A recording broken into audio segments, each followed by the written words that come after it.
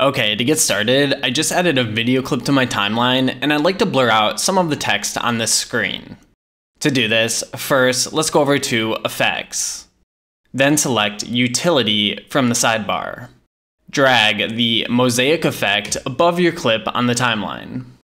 And I'll just drag the Mosaic clip's end so that the blur's duration matches the length of my video. Okay, now simply drag this blurred square in the preview over the part of the video you'd like to blur.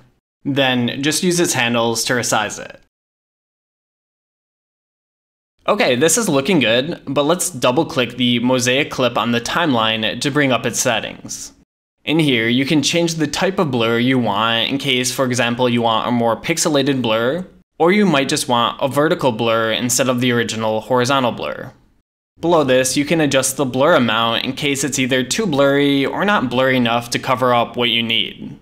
I don't usually mess with the opacity slider, but that's there if you want to see more of the original subject through the blur.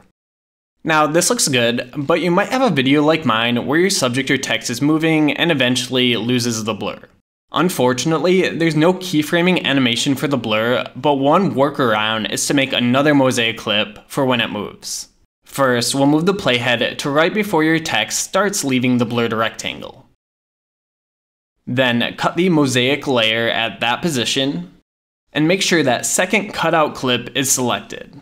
Now move the playhead to where your text is completely unblurred, and simply move the blur rectangle back over your text.